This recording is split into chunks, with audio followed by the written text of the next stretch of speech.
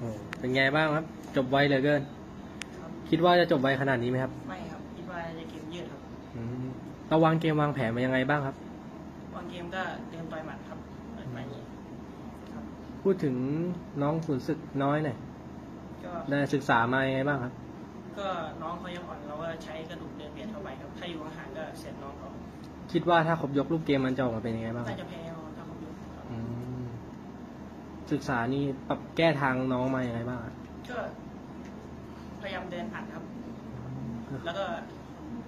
เขาจะมีลูกจับขาแล้วเราก็พลาดไปไปนี่ไปแต่เขาจับจนได้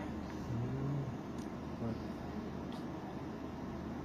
พอเกมจบมาอย่างนี้แล้วรู้สึกไงบ้างครับ ก็โล่งใจไปเลยครับ เราซ้อมมานานครับซ้อมมานานนี่แค่ไหนอะก็เดือนกว่า เดือนกว่าเลย ได้โบนัสเท่าไหร่เนี่ยสามแสนห้าครับไฟล์ที่แล้วนี่ต่อยกับใครไหม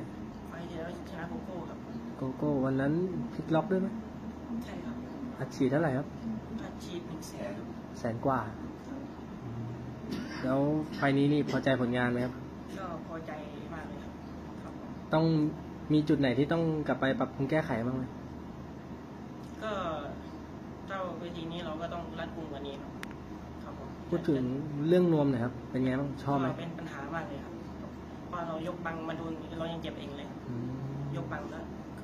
มาโดนหน้าตัวเองก็ยังเจ็บเลยแล้วสามยกกับห้ายกนี่แตกต่างกันยังไงบ้างบอกว่ายังต่อยไม่ครบเลย แตกต่างกันเยอะเลยครับ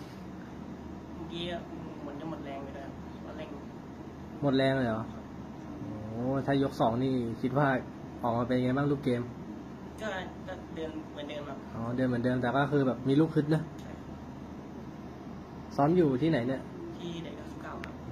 วันนี้ทำสำเร็จแล้วอยากขอบคุณใครบ้างครับ ก็ขอบคุณแฟนคลับมุสลิมในประเทศไทยแล้วก็ต่างประเทศด้วยครับ ก็ขอบคุณเฮียตีแล้วก็กลุ่มพังใหม่ครับในสมหมายนะครับ ตั้งเป้าหมายไว้ว่ายังไงฮะ มาชกวันแล้วเนี่ยก็อยากชกวันไปเรื่อยๆครับครับชกพยายามมีรายการวันให้บ่อยที่สุดก่อนชกนี่เฮียตีกำชับไว้ว่าไงบ้างครับก็พยายามกำมือให้แน่นครับเพราะว่า เราจะเจ็บเองด้วยครับ ครับหลังชกนี่ได้ไปคุยกับเฮียตีไหมยังอืมอะทิ้งท้ายนะครับ ฝากแฟนมวยช่วยติดตามเราไฟล์หน้าหน่อยครับ ครับฝากแฟนคลับมุสลิมครับไม่ว่าจะเป็นทั้งประเทศไทยแล้วก็ต่างประเทศครับไปนี้ทำสำเร็จแล้วครับครับ ครับก็แสดงความยินดีด้วยครับ